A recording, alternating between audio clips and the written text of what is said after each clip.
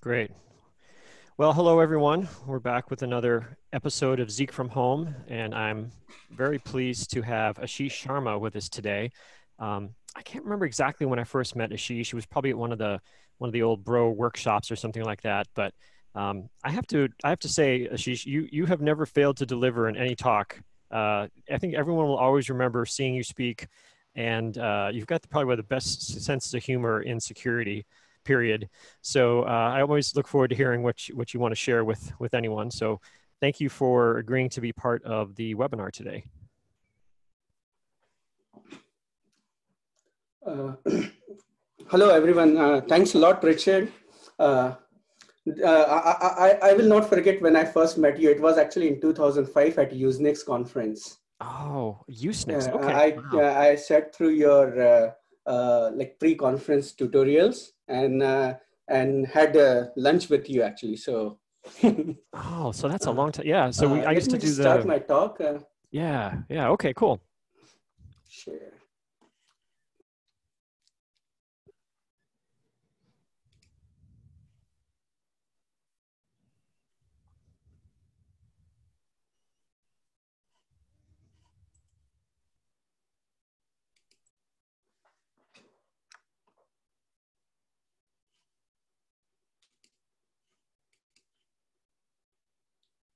Hello.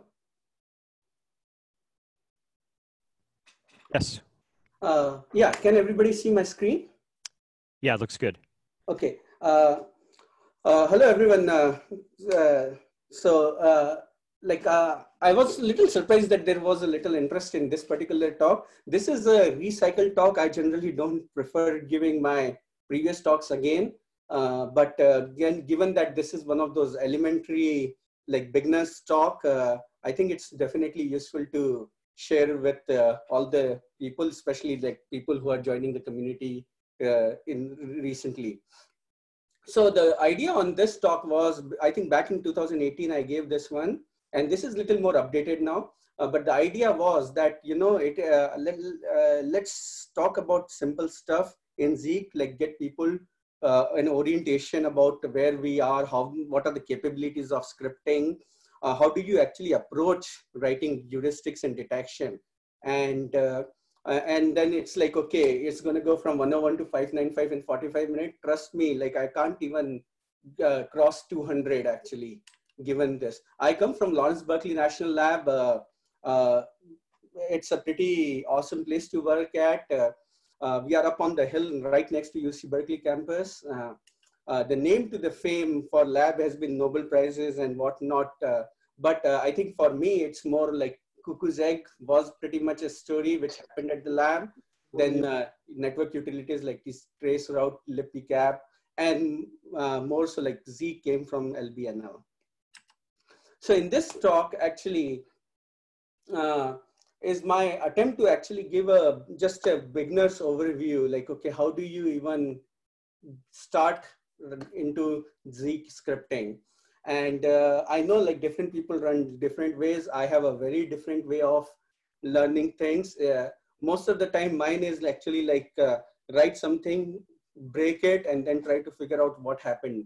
Uh, and then uh, there is a lot of literature available online. A part of the talk actually shows pointers to where things are, what to do, where to look for.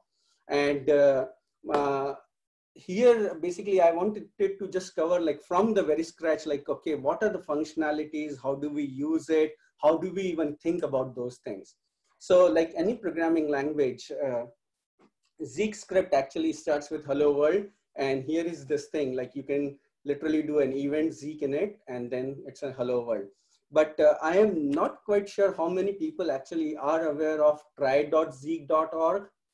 Uh, if you are not, uh, I would say uh, you should definitely check it out, try.zeek.org. And if you are aware of it, I, I would say use it more often. This is, this is a really good uh, uh, platform to actually test out scripts, share them, or even like if you have issues, put something here and then you can actually easily uh, collaborate with other people, uh, folks to debug.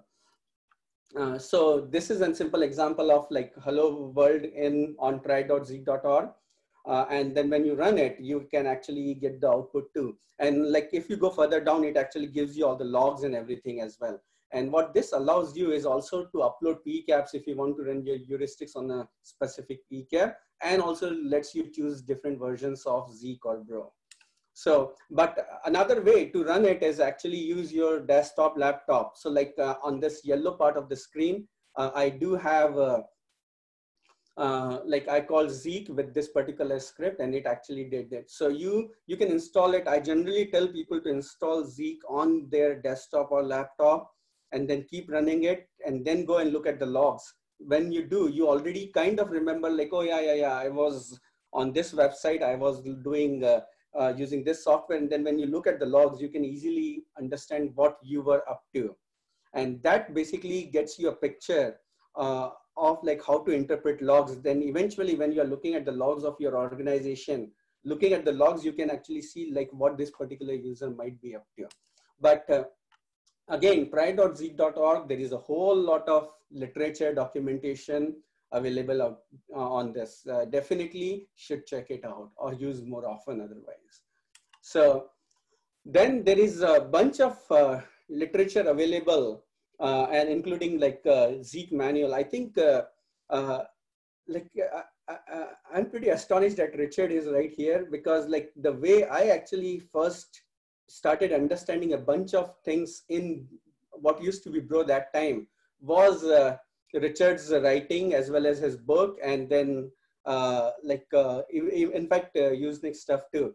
So, but uh, and that time there was not much documentation. Like there wasn't quite a manual available either. But now there is a pretty good manual. There is a good Slack channel, so on and so forth.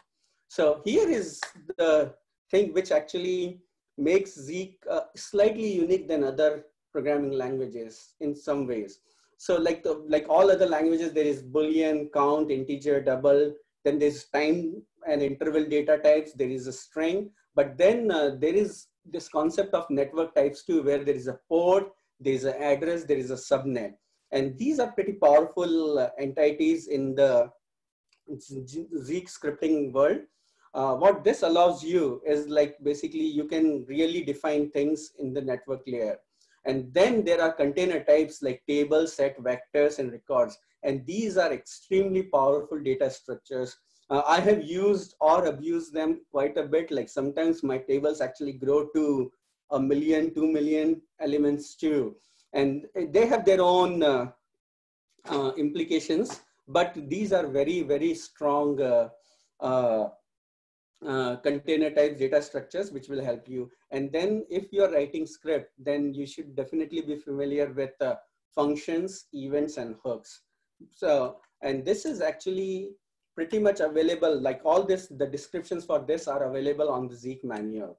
So then there are variables so there are variables which are of global in nature local in nature uh, pretty much almost similar to how your c or python uh, variable scopes are and then there are namespace modules. So like, for example, if you're writing something uh, uh, which is your own very specific uh, heuristic, you can actually create a module and uh, have your own namespace. Then you don't have like fights on the variable names or constraints or anything like that.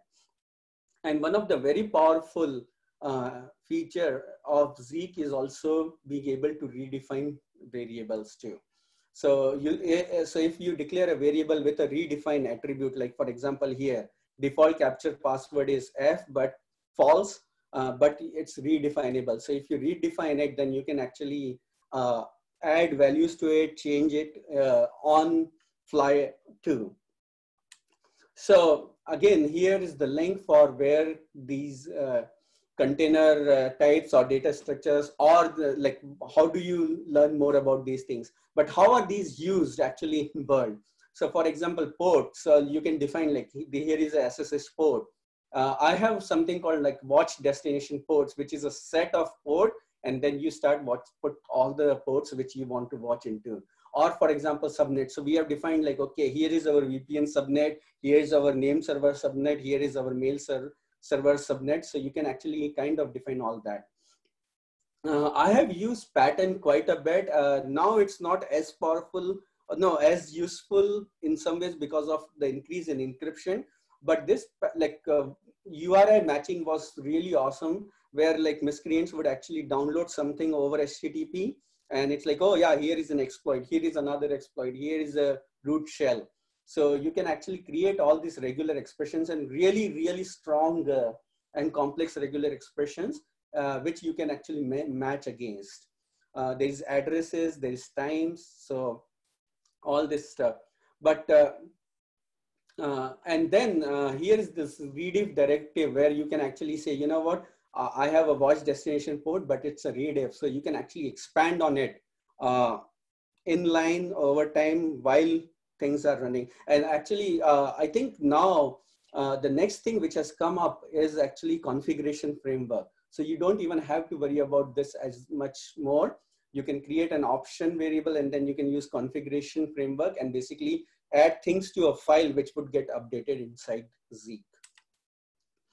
So, but here are certain mistakes I would always, well, not always, but yeah, more often than I would like to would make. For example, here is a redef watch destination set port. So I defined 88, 8000, 55, 55, and then I actually went and defined 22 TCP as well. But here is a disaster. Uh, if you look at it, I said, okay, equals to 22 TCP, which basically means it literally overwrote all the previous uh, things which were actually in this particular uh, variable. So you should always remember to do a plus equals to or a minus equals to if you want to remove. Otherwise, if you just do an equal and then assign a value to this variable, it would actually forget everything else which it had in uh, past. And that can have serious consequences. Uh, same thing here, like you have a VPN subnet uh, and uh, actually this is not even right. Like I think this example is, this is a set and I'm, I cannot add to a set like this, but either way. Here is VPN subnet. So you have a set of subnet and then you can actually go further. Same thing is here. Uh, so always make sure that you don't actually just assign with an equal, always use a plus equals to if you are redefine, uh, appending a redefinable variable. So here is a pattern. So uh, like previously I would watch for things like, okay, uh, here is this thing, a string which I found out. Now I'm gonna watch for all the URLs in an email and see if there is a match on this. Sometimes you would find exploits, other times you find malware, you like all, but this is pretty much a regular expression match or a signature match. But then there are all these things like, okay, I have a use case uh, I like to extract all the URLs from email. So now you actually come up with a regular expression, which actually is a, which matches a URL string. And once you have it, you can actually put it in a particular event.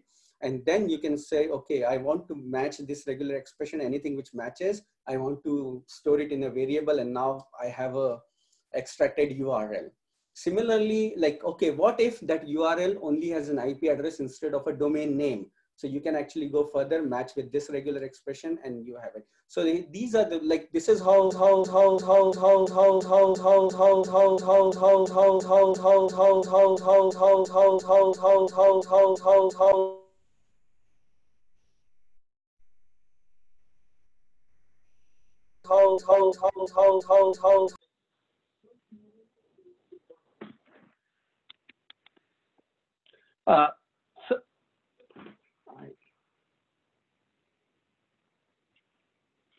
okay, uh, how is it now? Clear? Yes. Okay, so uh, let's start again. Uh, sorry about this. I have no idea what happened. Generally, Zoom works quite quite well, but uh, it's fine. Uh, so let's let's keep going on. Uh, so the pattern actually has like from 2.6 onwards, uh, it has like new features like case insensitivities, and then there is this uh, different operators. So because the problem used to be like, okay, if I have to match word password, now you have to worry about like uppercase, lowercase, and also keep keep in mind that you need to uh, uh, like uh, use like slash i for that purpose and so on and so forth.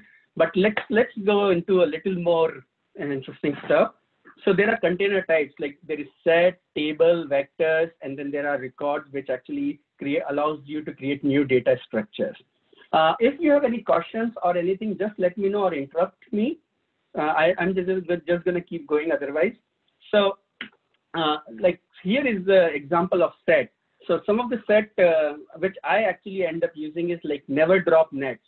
And these are networks which we don't want to drop. So you just like put those in set and then you're pretty okay at the very end where you are actually calling a drop like in notice drop action you can actually say if the uh, end dollar source is in never drop nets, return don't do anything. Then I use it for like live nets, uh, identifying dark nets, defining things like what are our scan networks and so on and so forth. You can even go further like, okay, here are the subnets which are primarily used by Nigerian scammers and see if you are getting an email from those subnets too then uh, like ignore this block, uh, ports. Uh, if you have a list of block ports on border, that can become a set, your name servers, uh, mail servers. Uh, if you have a watch list, like, okay, that can become a set and so on and so forth. So the deal with set uh, is like, okay, so the way you define that is you say a set is a set of an address. You can have a set of address, strings, ports, subnets, like any of the data types can be a container set. And then you can uh, put values in there.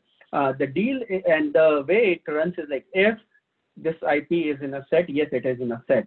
Uh, the problem with set is that uh, set doesn't have an order preservation. So if you have an expectation of that, uh, it's not going to work. What works is that set is a good membership test.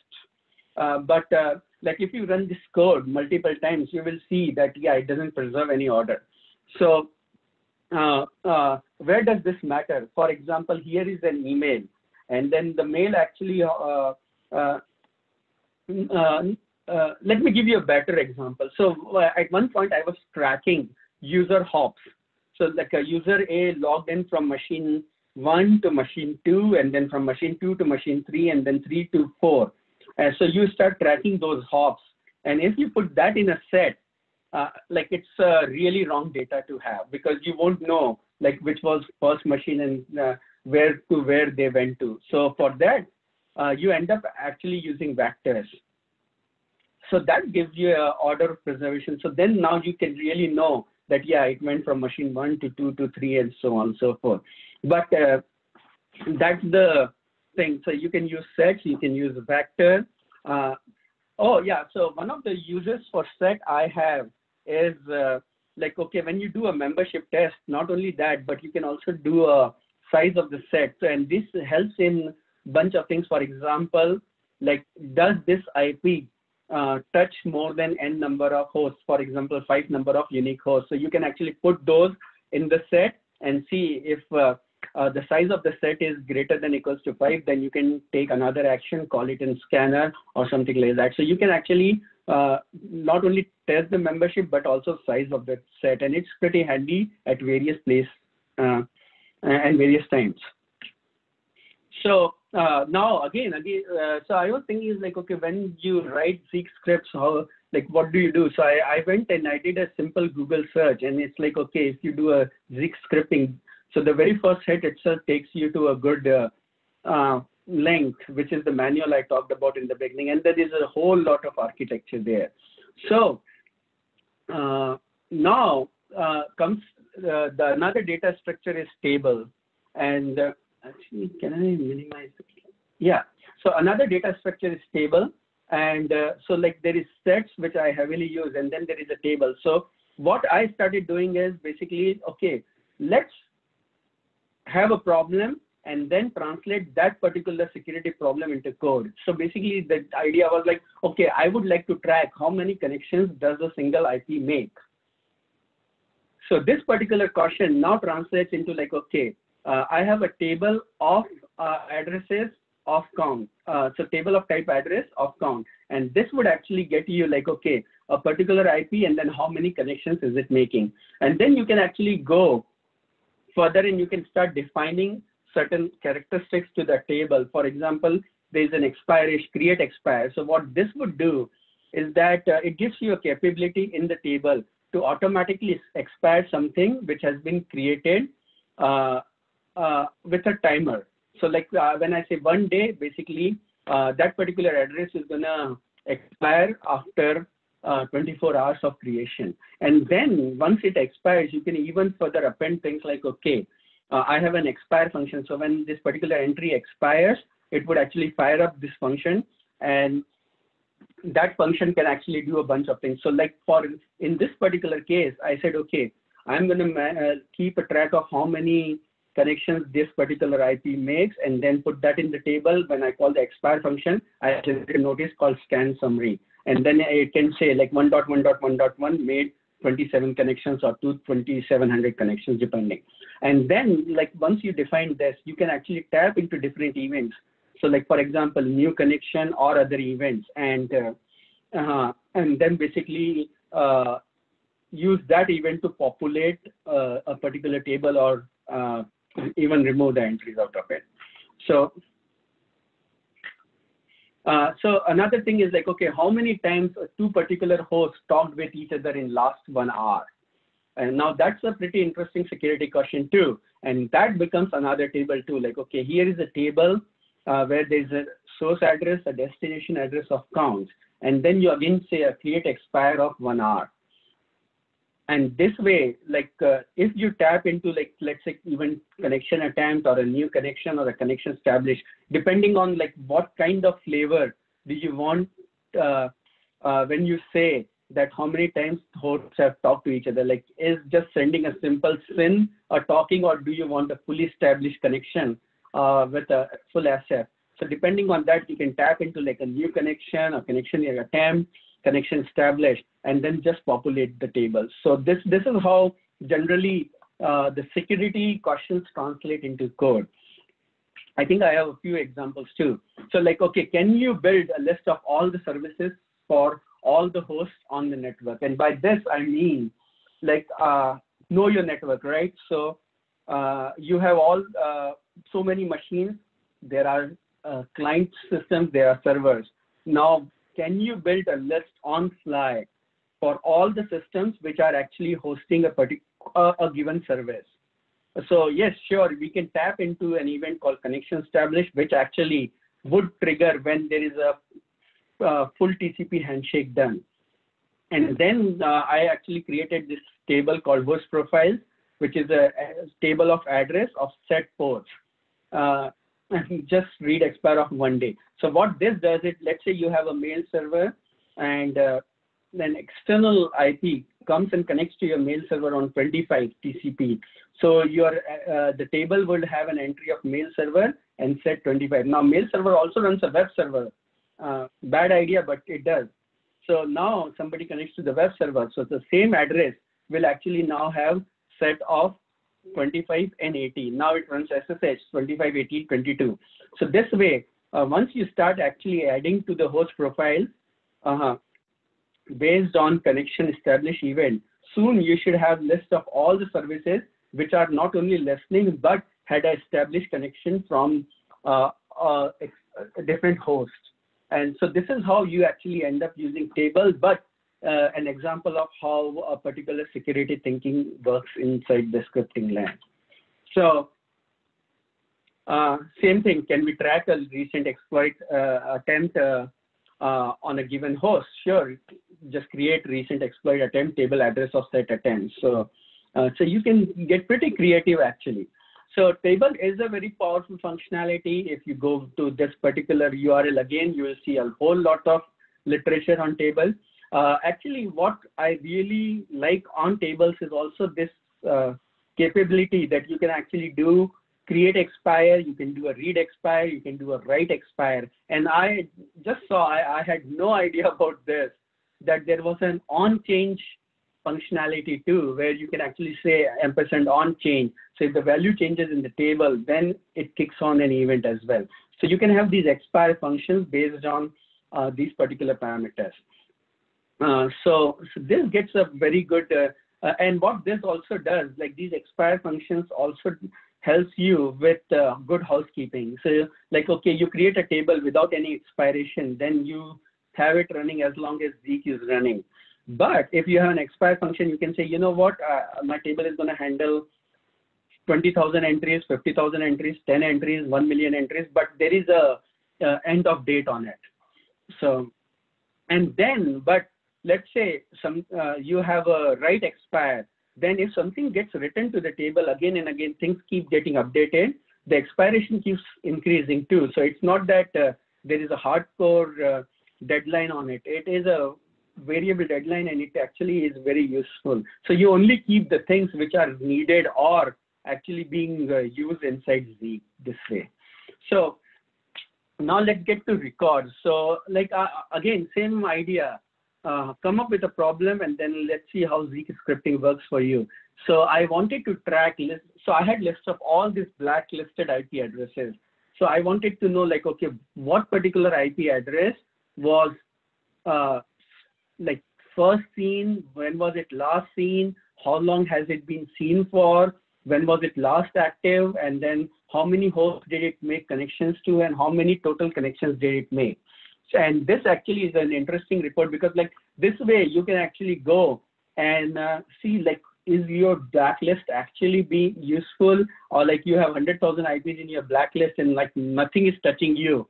There's no point burning ACLs on things which are not even coming to you. Or like okay what are the ips which are coming more often? Like why is this ip coming uh, like for last 200 days when it's blacklisted so you can do all kinds of questions and uh, data analysis here. And this is uh, this can be easily done if you have a, your own data type or record. Uh, so how does this particular thing work?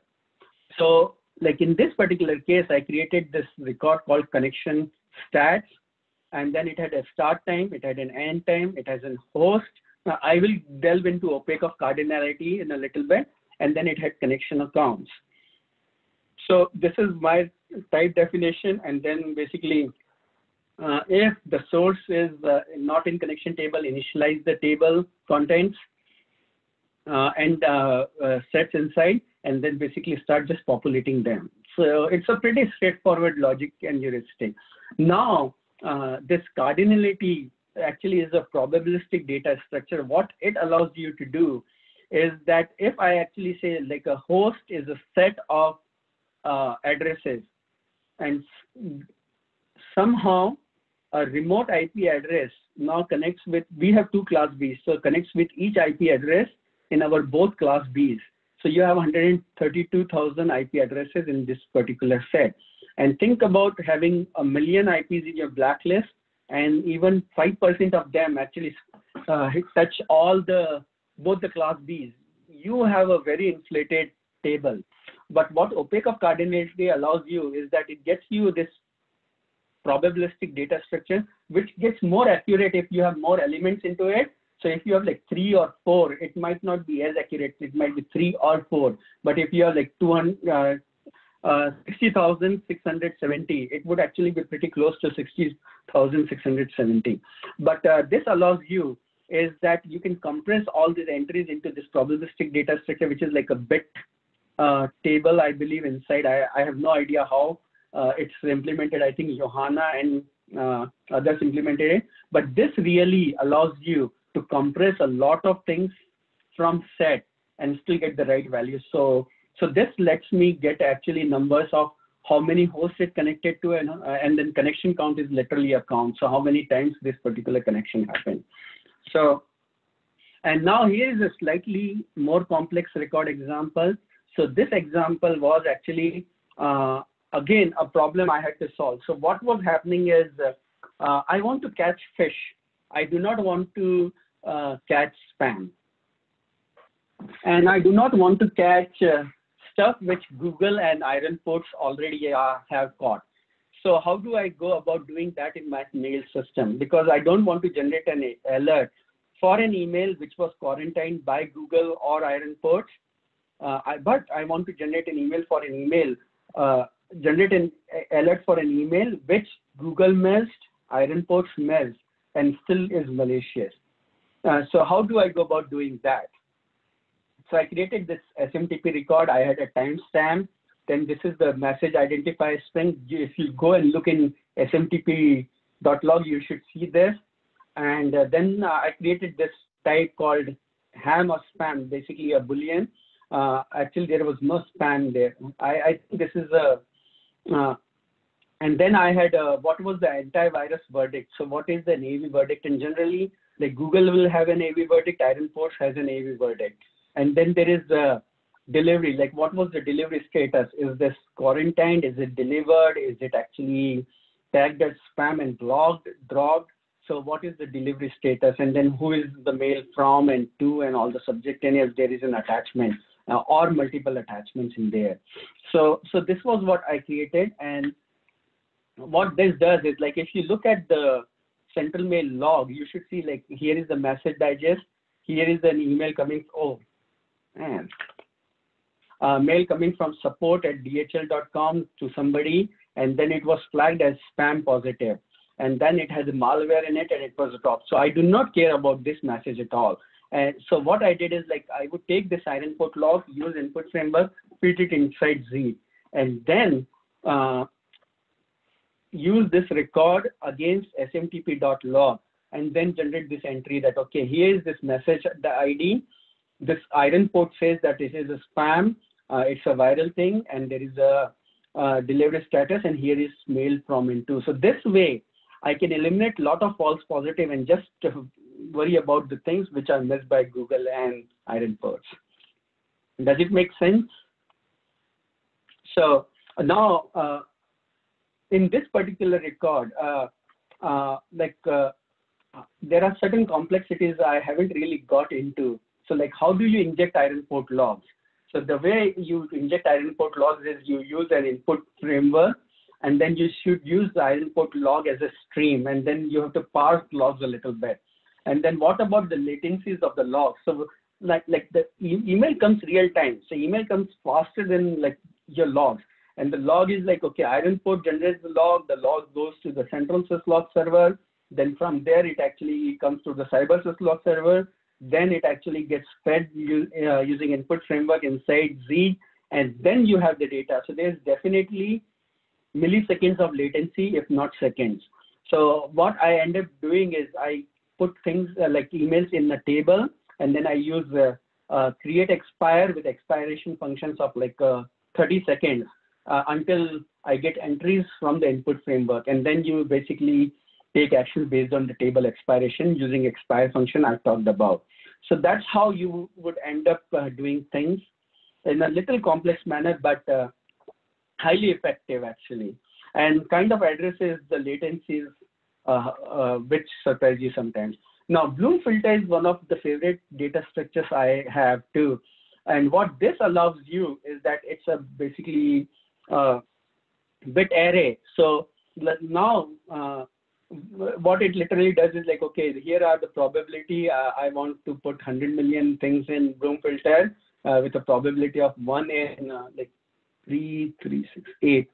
So like with this particular probability, I want uh, uh, to generate a false positive, and then you can add something to Bloom filter, and then you can do a test. Now, where does this work? Uh, so this really worked well in the SMTP URL heuristics, uh, where I would actually extract all the URLs from email, put them in a Bloom filter, and then uh, in HTTP uh, traffic, I would I would actually check against the Bloom filter in, in the HTTP. And uh, so I don't have to record all these URLs. I can just have a Bloom filter, check all the HTTP GET requests against it, and I, I know if a particular uh, URL in an email actually has a match in HTTP. So uh, now, uh, and same way I have used Bloom filters in blacklist. When you have like 10 million blacklisted IP addresses, Bloom filter works really well rather than putting things in sets and tables.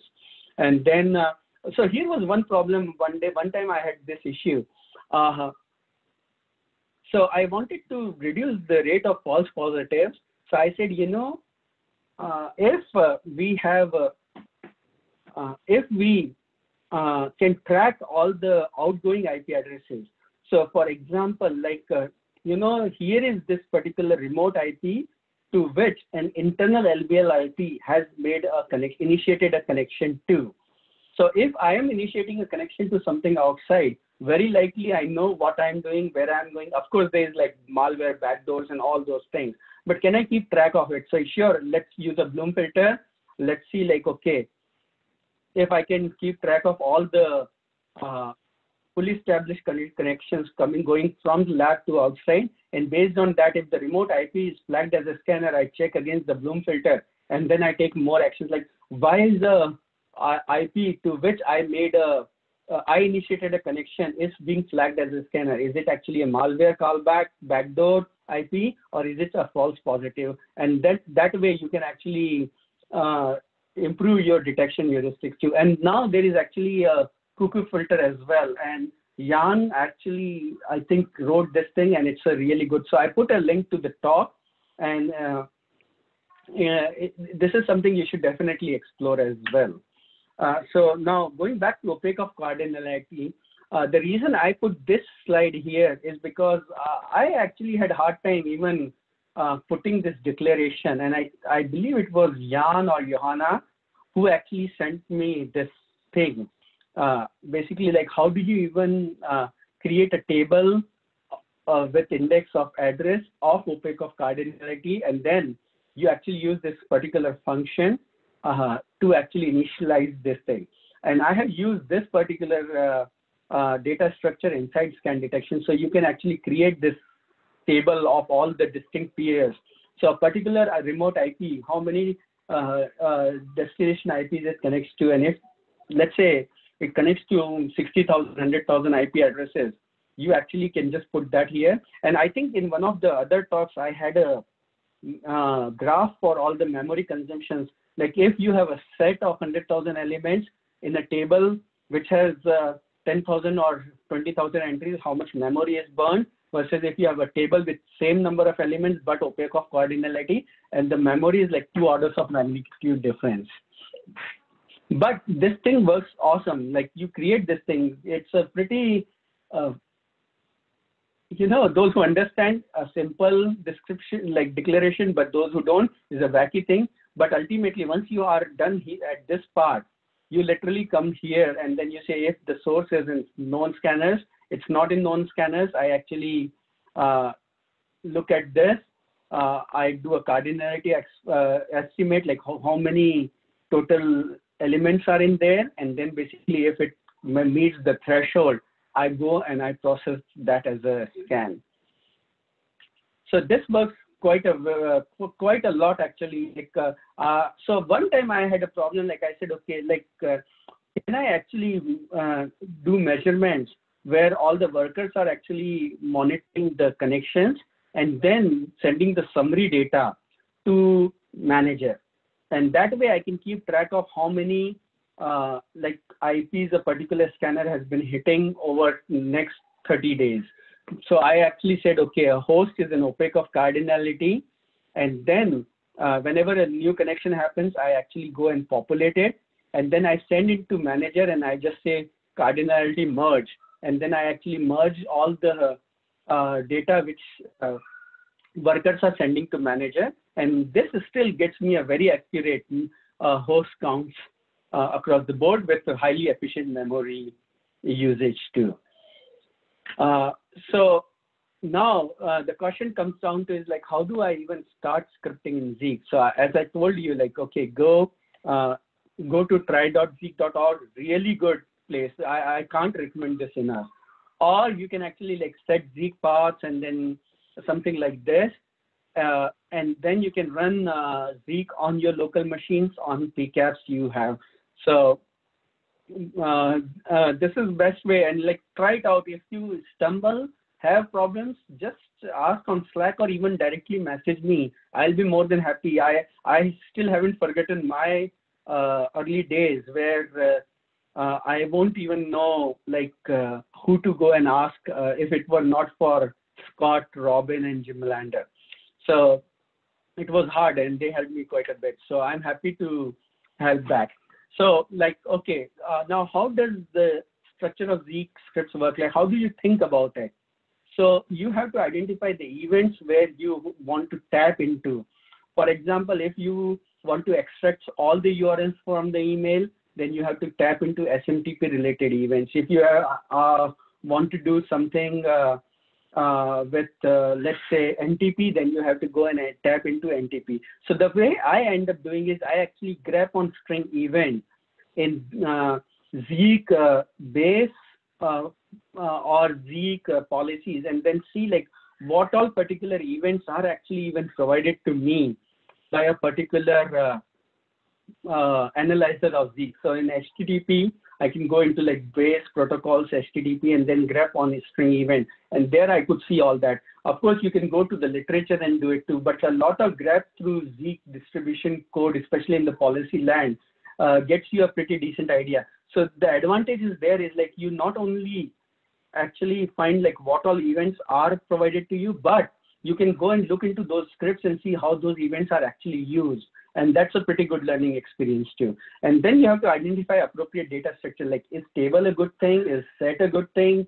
Should I have a table of sets? Should I have a table of Bloom filter? Like you have to figure out like what is efficient in terms of memory, volume, scale, uh, expiration, uh, that you should define scopes as well. What particular notice types are you going to be using? Is clusterization needed? Almost always cluster answer is yes. And then uh, the, the, scaling really haunts me at times too, where it's like, okay, I didn't think I'm going to be working with like 40 million uh, elements now, and now, okay, I have to figure something out here. So so here is, uh, uh, uh, I think when I gave this talk last time, I, I, mean, this was the only slide which people actually liked in the talk because most of the people came and talked about this. So here is this problem. I want to track all the HTTP traffic, which actually generates a 404, which basically means uh, not found. So like some remote IP comes in and does a lot of HTTP 404 on my local web server. Now that actually is an example of like a web crawler, a spider, a scan like that. So how do I track it? So it's a pretty simple heuristic. Like this, the problem is I want to track HTTP not found on our web server from a remote IP address. So, okay, how do you do it? You say, okay, table address of counts, and then you track how many counts of 404 and I just, I, no reasoning. I just arbitrarily took a write expire of six hours just because I think that time I wasn't even sure what volumes I'm going to see, what the scope and the scale of it. And then I went and I tabbed into event, HTTP reply, pretty standard thing. And, uh, and the priority actually defines where, like, so you have multiple declarations of HTTP reply. So where this particular uh, event is going to trigger in the sequence of all the HTTP reply triggers. So a lower priority better for your custom code. Uh, that way, like most of the data structures are filled and everything is under control too. So then I said, okay, I'm gonna have orig IP address. I have a response IP address, uh, and that comes from like CID, orig H, and response H. And then the code actually in HTTP reply gives me uh, 404. So if the code is 404, then look if orig uh, IP is in the table. If it's not in the table, then initialize it. And if it's in the table, just increment it. And then uh, using the pipes here, you see them do a count test and you see how many, uh, what's the count on ORIG. And then if the count is 100, generate a notice. And so it's a pretty simple thing, pretty effective too in sense like, okay, now I am able to find the web spider or something which is scanning on HTTP. Uh, a, very simplified version though, but yeah. So here's this code and this, this, this should work. The problem is everything I told you is actually wrong when you look at this from the Zeek scripting point of view. So like, okay, so the error is little out, but this is wrong. This is wrong. In fact, this is wrong this is wrong. So everything in this code is wrong. And actually, it's not wrong. The code would still work. It's wrong in the sense that when I send this script to uh, Seth, Robin, Johanna, like the dev developers, John, Justin, they're going to just throw it away. Uh, and here's why things are wrong.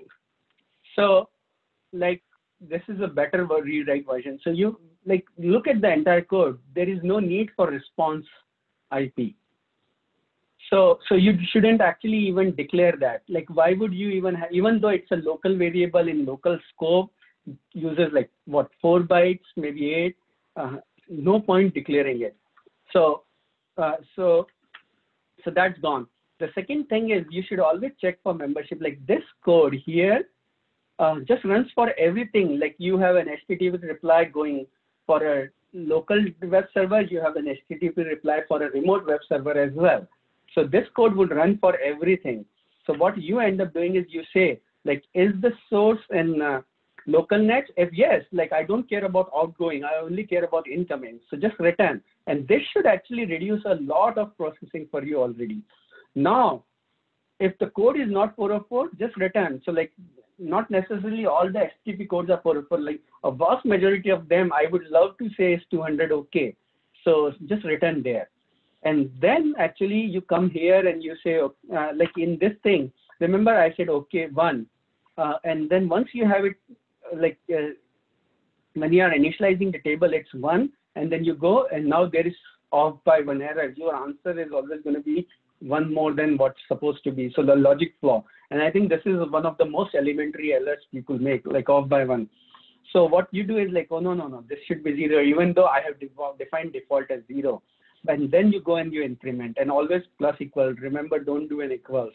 And then also on. So this is this is the way. Uh, so the main point here, actually, do I have a slide? Yes. So the main point here is actually eliminate all the uninteresting connections from your script. If something is not interesting, say return. And if something is interesting, then only you process it. If it's a local net, use return. Uh, so now there's like, uh, I'm just, uh, I see that I only have like four, three, four minutes more. So I'm just gonna go a little fast on this. Uh, just a second, let me ask people, should I go fast or should I just like stop for questions? I would I would stop for questions here, Aashish, because we have to stop at three because we have to host something else directly afterwards. Right. Okay. So any questions?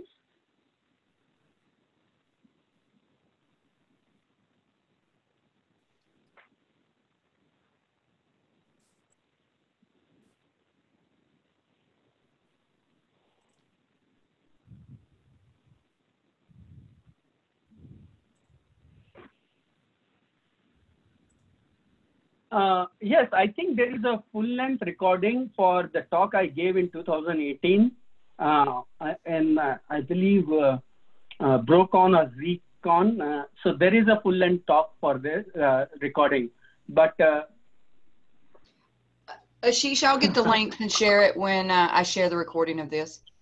Okay, and, and at the same time, just feel free to reach out to me, and I can actually give you more information or answer the questions too. Uh, my, here is my info.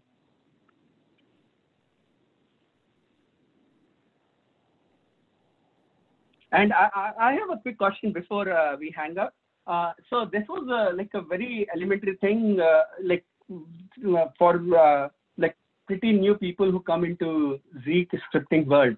But there is a lot of like topics like input framework, uh, Postgres database uh, linking with Zeek and all those things. If people are interested, if there is enough interest, I, I can make another talk for that material as well and uh, include like remaining portions of this talk in there. So just let Amber know that too. Uh, topics like clusterization, how do you write uh, uh, things in clusters? How do you use input framework? How do you use like config framework, Intel framework, there is a whole lot of things in there.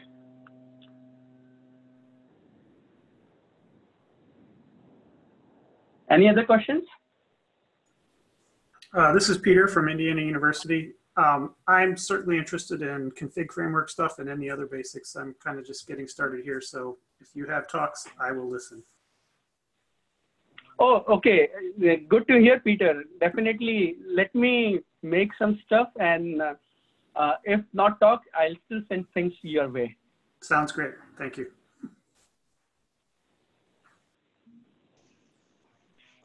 Yeah, I think many, uh, maybe like myself, is uh, I've I've played with Zeek scripts a bit, but this has been uh, rapid fire, so I'm still going through notes and would probably go back through these videos and uh, in order to really develop some good questions. So, so for those on the call, we do have on our Zeek YouTube channel now, we have a, a Zeek from Home uh, playlist where all of these uh, uh, Zeek from Home uh, episodes get added. On the blog, we also shared not only the video recording, the audio, and the slides. So all this will be produced within a couple days and shared um, with everybody uh, in the community.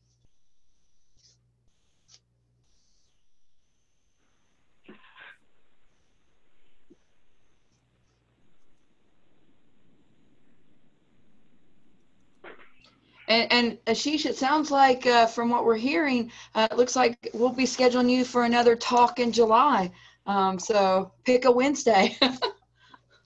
Yeah, I, I think it would be like I was thinking today morning. It would be see, I already promised to give a training in the ZeekCon, which probably is not it's uncertain. But uh, like this material is going to be anyways there. So sure, if people are jumping into scripting world, happy to actually talk about all this stuff.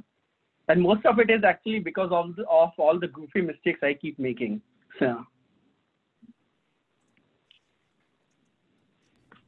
Any other questions?